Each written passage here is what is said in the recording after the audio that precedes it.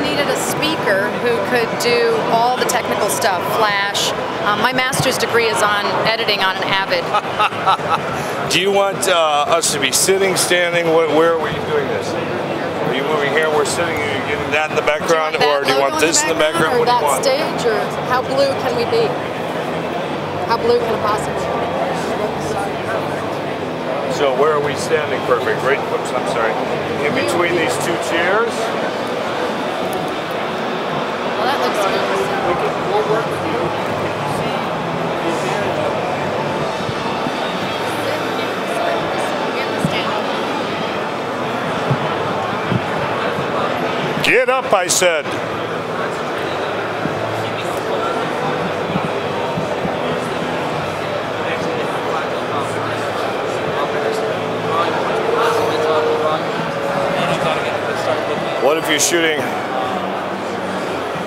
What if you're shooting over here?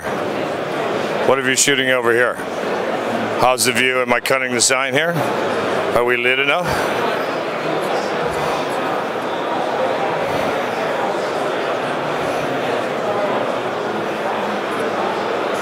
Am I?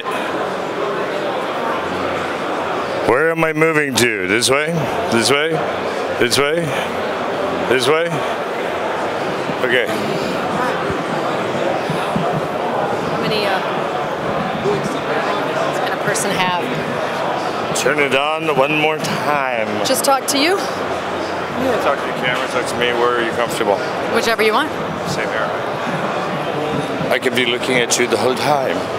I can be looking at you the whole time. We're gonna look at each other the whole time. He's not listening to us. No, he's not. so when did you get back from Florida? Like oh, like the Tuesday after Palm Sunday, whatever that was. Um, It's all kind You of were a blur where were right you? now. You were somewhere else. You came back on Friday, and I, I came back the following. You came. You were in Atlanta a week, right? And you came back what day? A Sunday. Okay, so I came back the Tuesday after you Okay. came back. So we're not. That was Not the same time. apart. Yeah, and then what? Like a So week later. where were you going to next? What is this? May, May, April? May is coming up, yeah. Uh, maybe someplace in Boston. Um, Boston? and then I go to Germany in June. Germany in June. Yeah. No, I'm home the whole month of May. Really? Yeah, I know. Oh, I'm supposed damn. to be in Germany, but I'm in Germany in June, and then um, June. Yeah, something like that. I think I'm doing September. Istanbul in June. Yeah, I do um, Michigan Amsterdam and- with them in Really? September. Yep, IBC. I could do Amsterdam. I could do International Amsterdam. Broadcaster Show. Really? Yeah. You want me to come there? we'll be in Amsterdam in June, appearing now. Um, and I'm doing India, I think, in October or November. Nice. I've never been. Have you? No. Ooh. But Sony's paying for it, so I figured that's a good reason to go. That's a very good reason Yeah. to go. Anytime anybody else but you is paying I for it. love those trips. I, I really do. Really? You want to pick me up at the You know, my airport too? DP um, is up to direct a big uh, eight-month travel show in India, all over India. What? So he'll probably be there when you're there. So if so, you might be able to hook up. Okay. That You sounds like a Tom. plan. You'll have to meet him before. I So you're gonna come over and join us? We'll just kind of do Bollywood. oh, I would love that. I've never been Wouldn't to that be India. fun? I'd love to go to India. Well, I'm thinking of going during Diwali, which is their festival of lights. It's supposed to be just off the hook. Really? So, are we uh, ready? And we're just going to keep talking. Yeah, we're just going to keep battling until you go. And then they said, Hi, I'm Kurt Kelly from Actors Reporter and Live Video Inc., and we are live at NAB 2010. I have the distinguished. 2012. Do that Oh, yeah, it really has been going on a long time. You did say 2010, I did right? say 2010, didn't I? Good My catch. feet, I haven't felt my feet since 2010. Yeah, that's what I meant. Yeah, no feet since 2010. I've been actually asking everybody, where can I find somebody who does a foot job? Um, I'm Kurt Kelly. I'm Kurt Kelly, and we're at NAB 2012. My, how time flies when we're having fun! And I have the distinguished pleasure to be with Linda Cruz. Hi. Hi. Now you're here at this booth, but this is not your normal thing. I, I remember you from television and documentary filmmaking. How do you go from being a documentary filmmaker to being a spokesperson at NAB Well, I started off in broadcasting. I was a news anchor. at I, ABC? at ABC. Right. And I left uh, because I got tired of bad news and formed my own production company and made documentaries. but when they were looking for a speaker, because as a broadcaster I spoke for the Cancer Society and those type of things, and so I've been a speaker for about 20 years. When a friend of mine heard that Harmonic was looking for a speaker, but it had to be a technical speaker. So my background as a, I have a master's degree in editing on an Avid. So uh, they needed someone who Avid could, yes, right next to me. So they needed someone who could actually do a demo, but not just memorize the lines, but actually do the demo. And it's Flash Pro, and there's a lot of other technical stuff. So uh, that's what I do for them now. So as their speaker at the National Broadcaster Show, and then the International Broadcaster Show, I'll do their demos. Now, I, I, I say this discreetly because I realize that some people could take offense in it, but you're not just another pretty face. No. No, far from. In fact, um, you also do parts that most people wouldn't recognize you for when they see your hair. oh yeah, but that's a long story. Oh, darn, I was hoping she would tell us about this. She does some other modeling professionally. Okay, so I got into hand modeling because at Hey, she's told us. Yeah, but the story is a little different. Um, I developed. So I was diagnosed with cancer when I was working for ABC, and my hair turned green, and I wasn't allowed to be on camera anymore. So the only jobs I apologize. Do you not No, want to talk about this? I don't have a problem talking Okay. about it, but it usually works. out- little we go longer. down. Okay, we yes. go down a rabbit hole when you ask me those questions. So that's actually how I got into hand modeling. Fascinating. I couldn't be on camera because I had green hair um, doing my treatment, so um, I could use other body parts. So that's actually why I avoid that conversation because it makes people feel uncomfortable. As I do right now, and I know you, and I'm feeling uncomfortable. Yeah, Um, my, I don't know that part. That's why I always avoid I- that. I yeah. Um, so, going from ABC and saying I'm tired of bad news um, can be a little scary for some people because that's a real cush job being a news anchor in Chicago. Yeah, but I think for everybody, everyone has a life path. And I think for most actors, you have to find what's unique for you. And I went into broadcasting because I wanted to be a journalist. And because I had a pretty face, they would put me behind a counter and let me read news. And I didn't want to read news, I actually wanted to report the news. So documentaries are like news according to me, Right. but news nonetheless.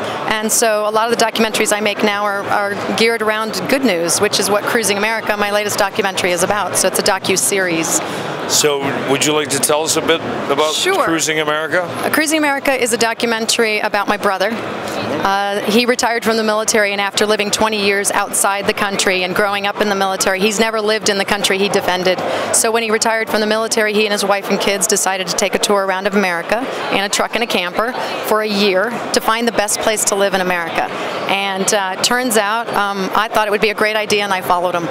So that became our last name, which is Cruise. So we called it Cruising America, and uh, the documentary became um, a feel-good project about great towns in America. And a lot of people supported us along the way. And what was a small documentary turned into a six-part series, and we have 200,000 followers that follow us each month. And um, yeah, so that's my latest good news project. You're actually um, an inspiration for people because there are a lot of people who would like to do what you're doing and maybe don't have the idea of how to really get from point A to point B.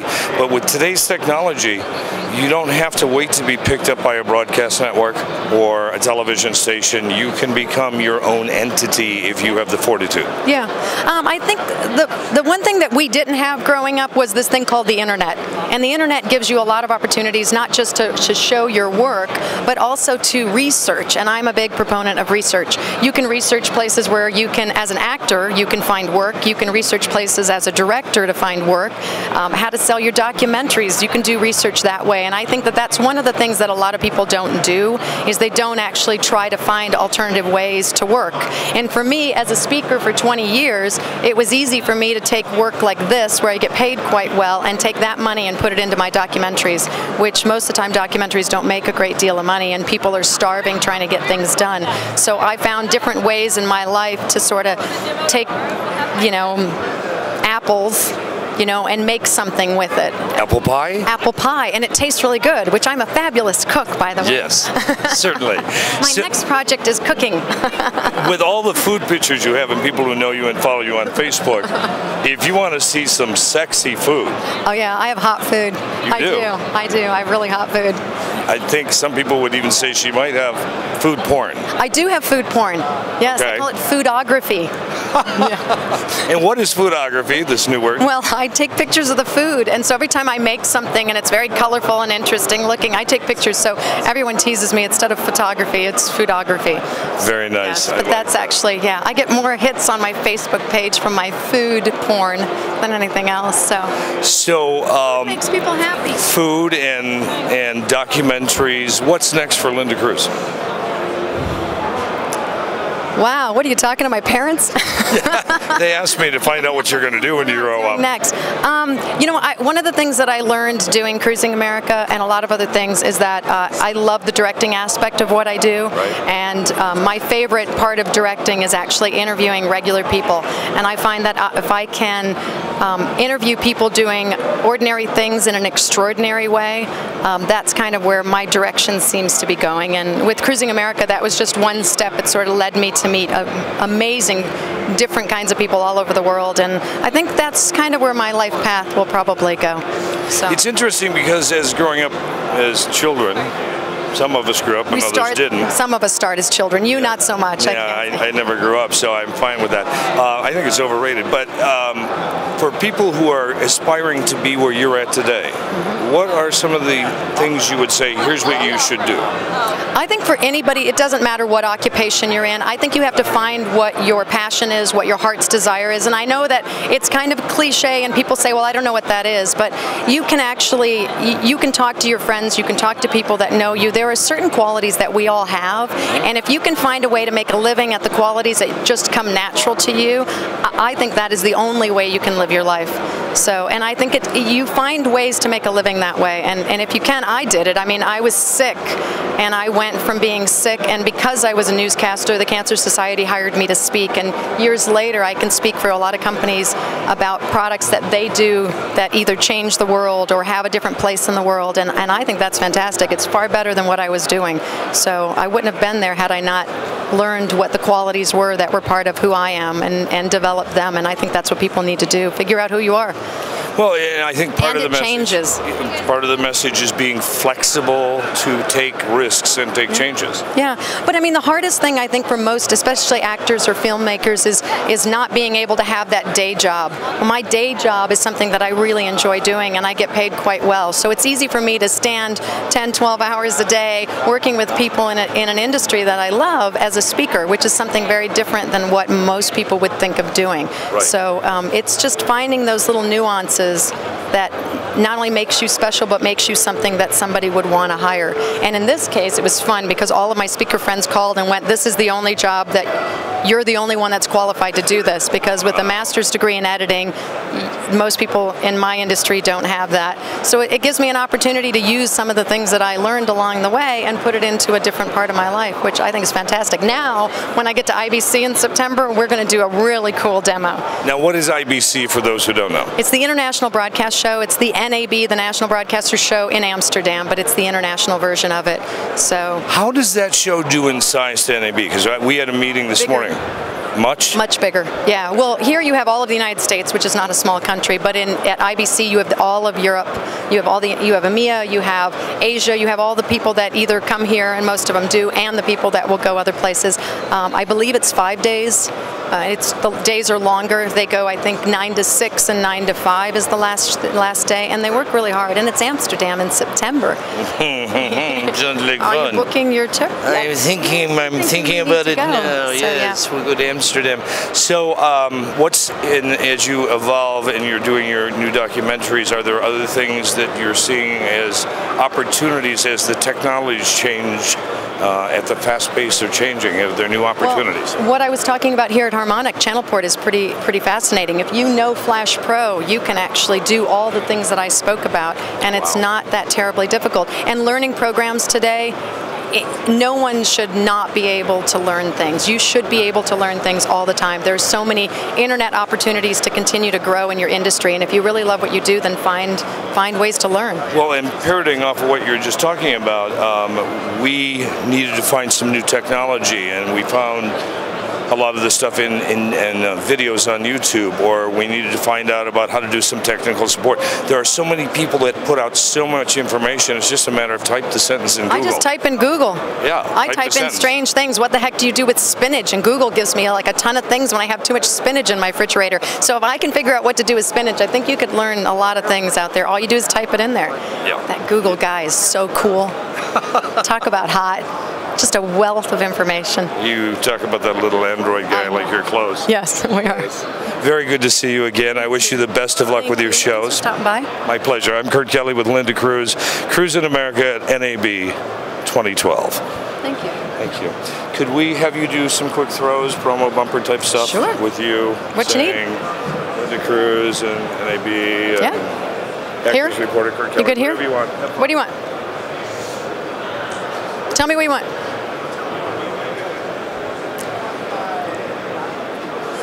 What do you need? State your name, you, who you represent. We're at NAB. You're watching Actors Reporter Live Video Inc. with host, Live Video Inc. Got it.